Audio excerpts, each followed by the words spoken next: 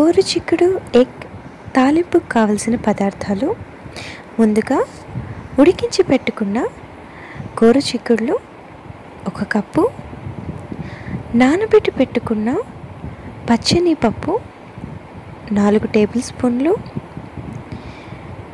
అలాగే కారం ఒక టేబుల్ స్పూన్ టమాటో రెండు తరిగి పెట్టుకున్నవి ఉప్పు తగినంత కొబ్బరి తురుము రెండు టేబుల్ స్పూన్లు పచ్చిమిర్చి రెండు తరిగి పెట్టుకున్నది అలాగే కరివేపాకు ఒక రెమ్మ తీసి పెట్టుకున్నది కొత్తిమీర రెండు రెమ్మలు తరిగి పెట్టుకున్నది ధనియాల పొడి ఒక టేబుల్ స్పూన్ ఆనియన్స్ ఒకటి తరిగి పెట్టుకున్నది అలాగే oil two tablespoons eggs రెండు. ఇప్పుడు తయారీ విధానం చూద్దాం. ఇప్పుడు స్టవ్ ఆన్ చేసుకుందాం. స్టవ్ ఆన్ చేసుకొని కడాయి పెట్టి వేడి చేసుకుందాం. కడాయి వేడెక్కాక రెండు టేబుల్ స్పూన్ల ఆయిల్ వేసుకుందాం. తరిగి పెట్టుకున్న టమాటో వేసుకుందాం. టమాటో వేసుకున్నాం కదా? ఇది కాస్త మగ్గాలి. ఎందుకు ముందుగానే వేసుకున్నామంటే వేపుడు కాబట్టి కొద్దిగా ముందుగా వేసుకుంటే త్వరగా ఉడుకుతుందన్న ఉద్దేశంతో. ఇప్పుడు తగినంత ఉప్పు ఇందులో వేసుకుందాం. ఇందులో వాటర్ ఉండడం వల్ల మనకి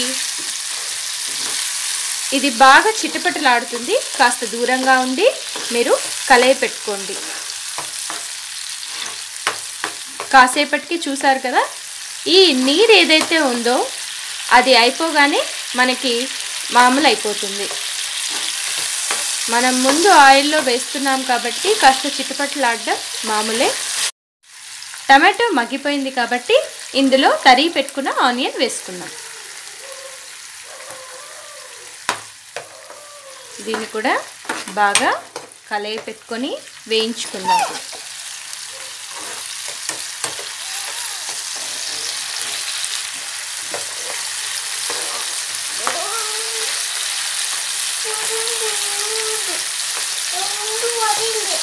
ఇప్పుడు ఇందులో నానబెట్టి పెట్టుకున్న పచ్చని పప్పు వేసుకుందాం.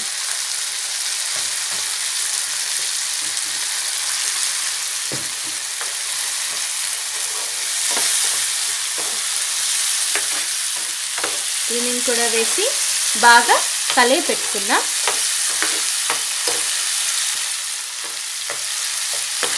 వేపుళ్ళలో పచ్చని పప్పు వేస్తే దానంత రుచి ఇంకొకటి ఉండదంటారు. అందుకే వేపుళ్ళలో మ్యాక్సిమం మనకి పచ్చని పప్పు వేస్తూ ఉంటారు. ఇప్పుడు ఇందులో పచ్చిమిర్చి అలాగే కరివేపాకు వేసేసుకుందాం.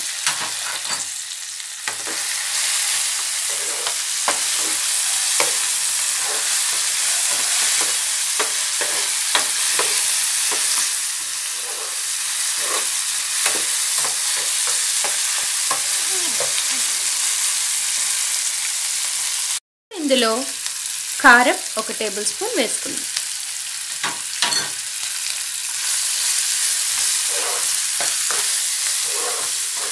బాగా కలియ పెట్టుకుందాం. ఇప్పుడు ఇందులో కొబ్బరి తురుము వేసుకుందాం. అంతా వేసి బాగా కలియ పెట్టుకోండి.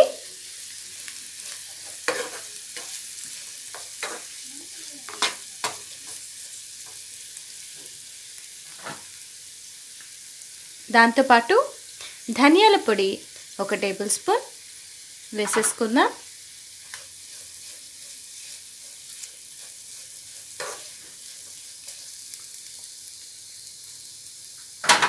అలాగే కొత్తిమీర తరుగు మనం ఏదైతే పెట్టుకున్నామో అది కూడా ఇందులో వేసి కలిగి పెట్టుకుందాం.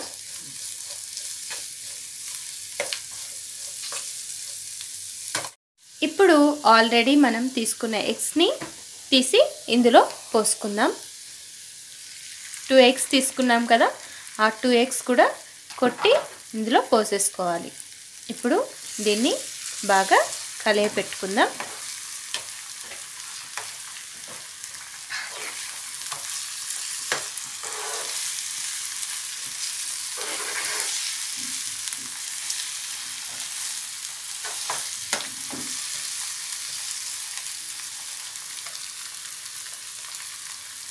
ఇలా పూర్తిగా కలపకుండా దానిని అలా పెట్టి కాసేపు ఉడికించుకోవడం వల్ల మీకు ఎగ్ అక్కడక్కడ కనిపించే అవకాశాలు ఉంటాయి కాబట్టి అలా పెట్టుకుంటే బాగుంటుంది.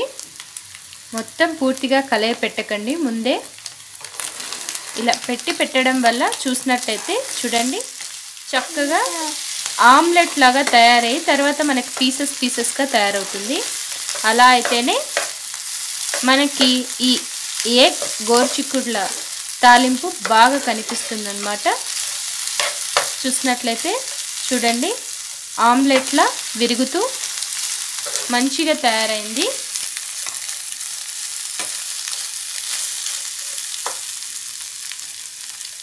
దీన్ని ఇలా ఉంచుకుని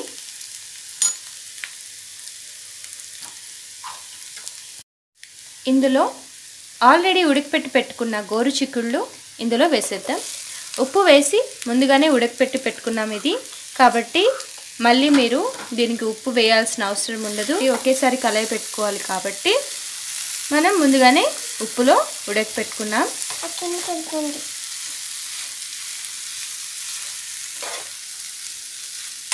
చూసినట్లయితే తాలింపుకి ఎగ్ అలాగే గోరుచిక్కుడులు ఎంతో చక్కగా కనిపిస్తున్నాయి. ఎంతో అందంగా కనిపిస్తుంది.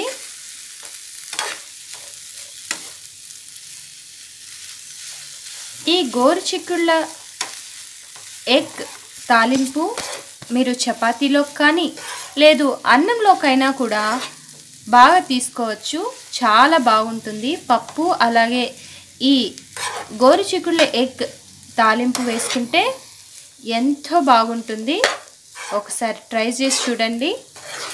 ఒక వన్ మినిట్ మూత పెట్టి కాసేపు ఉడికించుకున్నట్లయితే ఏదైతే గోరుచిక్కుడు ఇప్పుడు వేసుకున్నామో అది కూడా బాగా మగ్గిపోతుంది.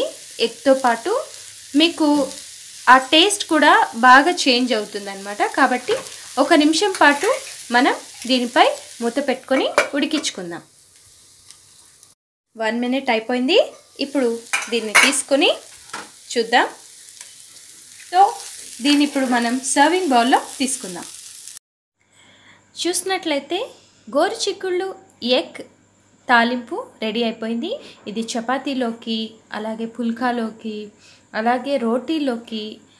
మీరు అన్నంలో కూడా మనం పప్పు అలాంటివి చేసుకున్నప్పుడు ఈ తాలింపుని పెట్టుకొని ఎంచక్కా తినేయచ్చు అనమాట అంత బాగుంటుంది.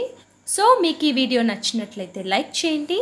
అలాగే ఇంకెన్నో వంటకాలు మీరు చూడాలనుకుంటే ఖచ్చితంగా ఈ ఛానల్ని సబ్స్క్రైబ్ చేసుకోండి. Thank you. Thank you so much for watching this video. Bye